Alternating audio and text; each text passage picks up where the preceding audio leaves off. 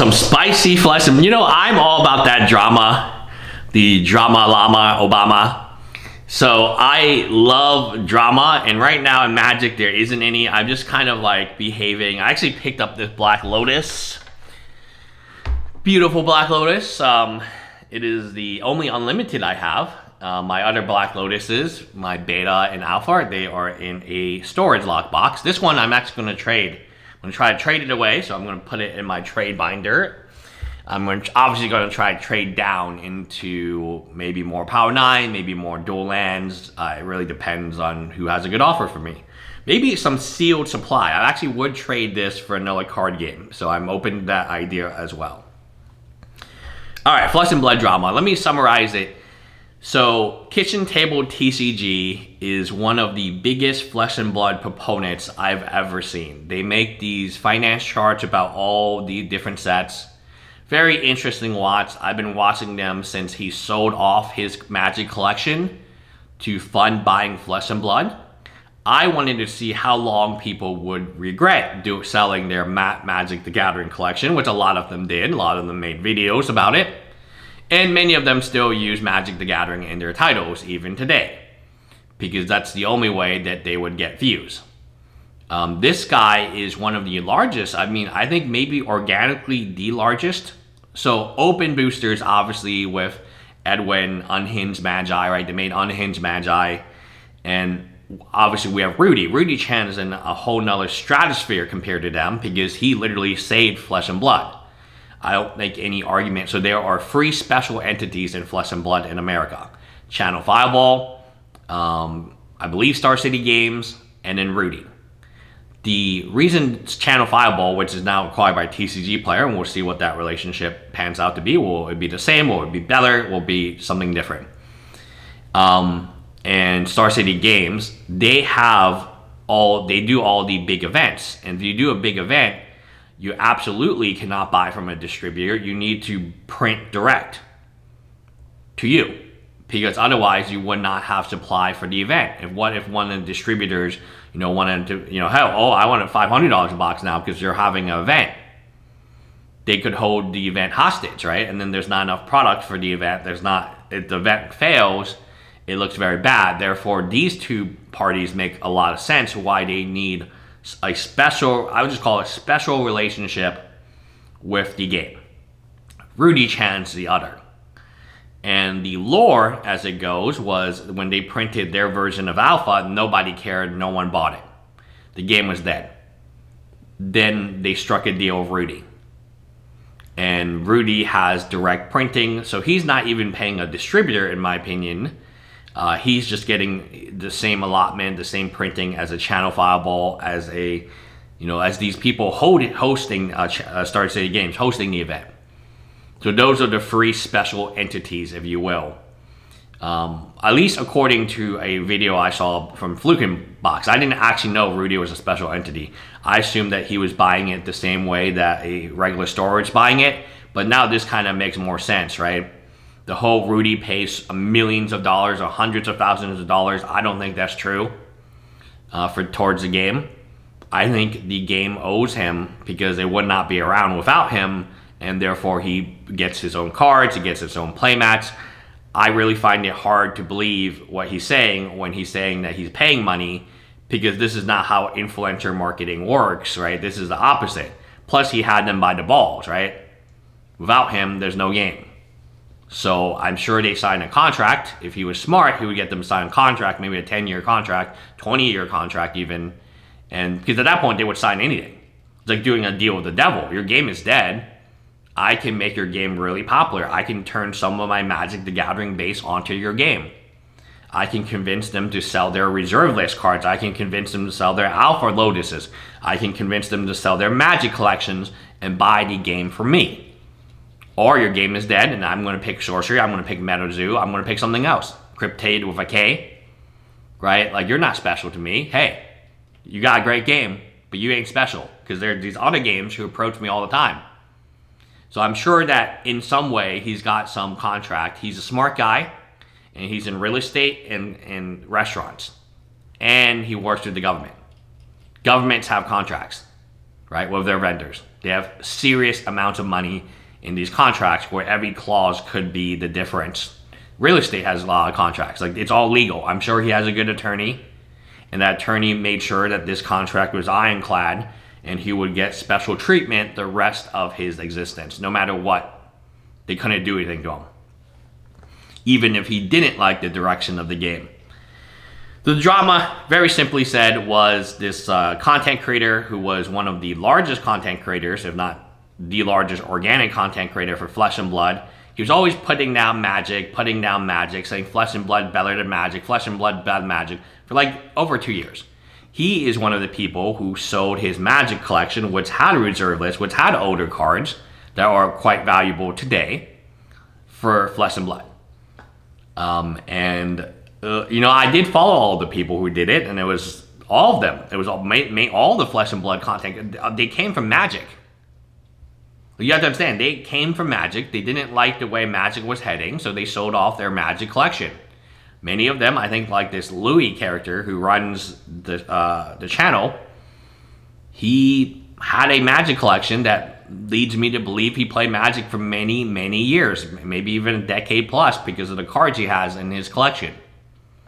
They are reminiscent of an old school player. The reserve list, uh, the type of cards he has.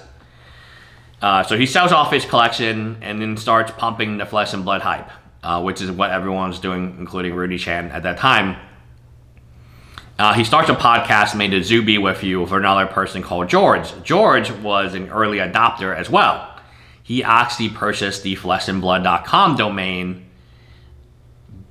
before the people who made the game, which is really ridiculous that even had the uh, potential of happening.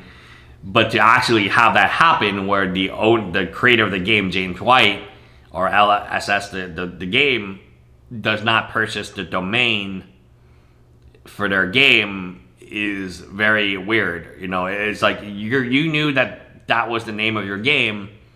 Why did you not purchase the domain? Because it would have cost you 99 cents for that year. You could have held on to it. If nothing happened, fine, let, let it go back in the wild. But my gosh, it's a very valuable domain for you.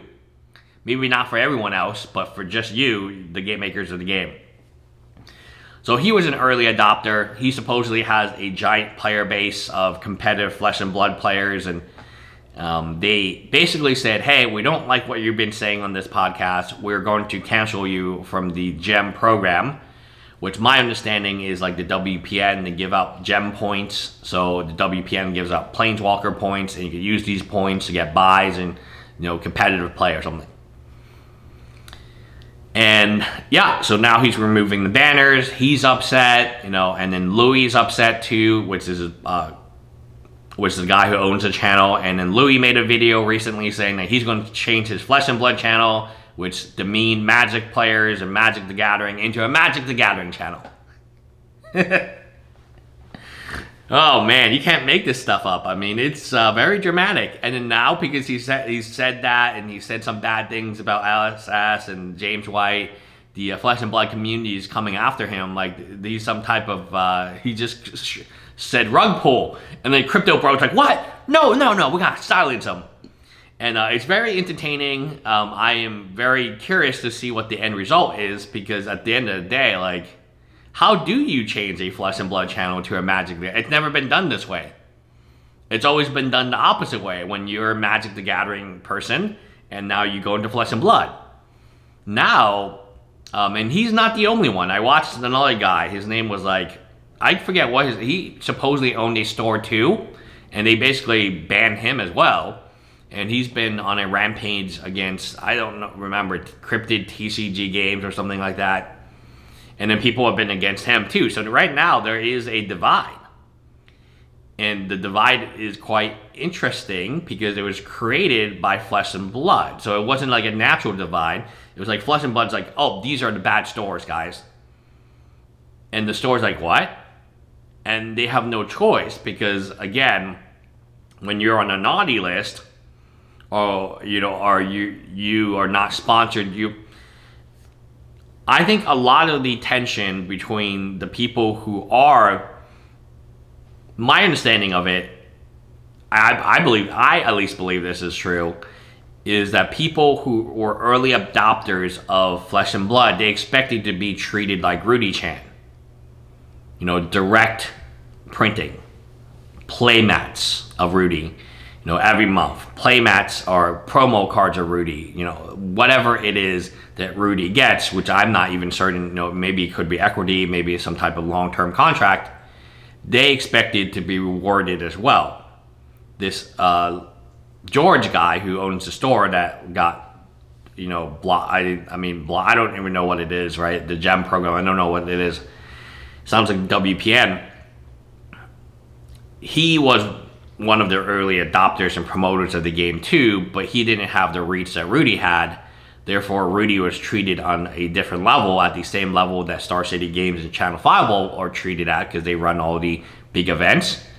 And Louis and George and none of the other people were at this level, which makes sense. And that's why Rudy pumps the game so much. Because he's at a totally different level than anyone else uh, as an individual who has no employees, right? You think about Channel Fireball, how many employees, writers, content creators they even had, right? Um, even the content creators for Flesh and Blood, how many of them were sponsored by Channel Fireball? It was a lot of them, a handful of them. And then you think about Star City Games, how big that company is you know, with all their employees. So Rudy got in good. He got in good. But that does create jealousy. And I think a lot of people are noticing this now that they cannot compete with Rudy when it comes to selling flesh and blood. Is it the promo? Is it the package? No, it's the price. Just like people complain about Channel Fireball when Channel Fireball was fire sailing right? Uh, before it got bought out, it's probably because that was around maybe even after you take fees and credit card fees, shipping, and so on. That's probably around the cost. They just want to recoup some money back, right? So they're not paying. So Rudy Chan, I'm almost certain Alpha Investment does not pay the same amount as a distributor. And then therefore he doesn't obviously doesn't pay the same amount as your local game store for these boxes and he's able to get more of them. He's able to talk to James White directly at a meeting. Um, so there's a special relationship there, and that creates a anti-competitive environment because any store who carries flesh and blood that dares no compare with, compete with Rudy is going to lose.